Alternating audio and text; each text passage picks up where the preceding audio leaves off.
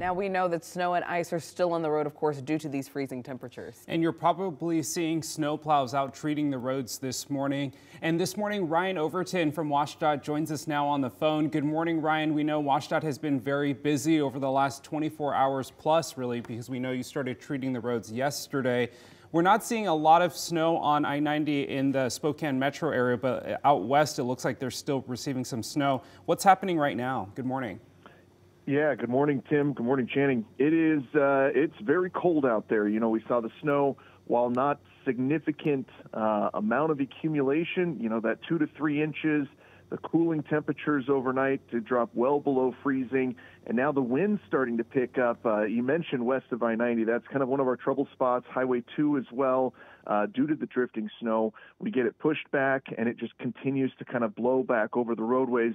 Um, we've also got some areas of drifting snow down on 195 towards the Idaho state line, a little bit south of Pullman.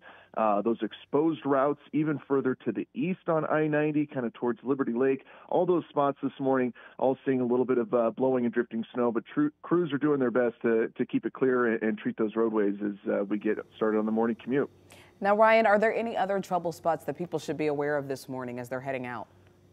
You know, really the entire inland northwest, with those temperatures dropping so quickly as they did, it's really hard to get the snow up off the roadways. We're going to probably be in this compact snow and ice with areas of uh, snow on the roadways, the shoulders now for the next couple of days. The product that we use is only effective down to you know, about 15 degrees or so. Sometimes with the sun coming out, we can get away with uh, maybe a couple degrees cooler than that.